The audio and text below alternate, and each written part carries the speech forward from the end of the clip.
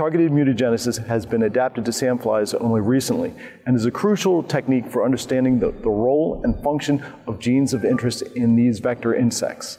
Embryo microinjection is a very important step in insect genome editing, but it needs to be adapted to the species that you are working with, in our case, sandflies. Compared to the other insect species, sandfly embryos are very small, take a long time to develop, and are particularly sensitive to the level of humidity.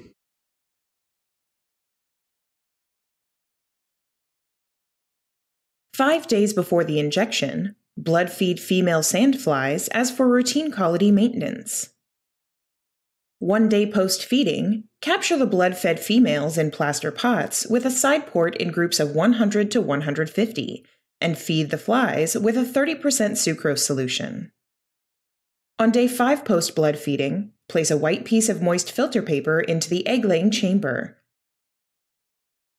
and use a mouth aspirator to collect and transfer about 10 females from the plaster pot to the egg laying chamber. After 30 to 60 minutes, remove the petri dish and filter paper from the egging chamber, taking care that the filter paper remains moist, and continuing to collect new groups of females and embryos throughout this period. When all of the embryos have been collected, use a stereo microscope and a very fine paintbrush to carefully transfer about 50 embryos onto individual pieces of moist black filter paper placed onto microscope slides, topped with a single cover slip per slide. Add enough water to each filter paper to keep the embryos moist without floating or being sucked under the cover slips, and line the embryos against the cover.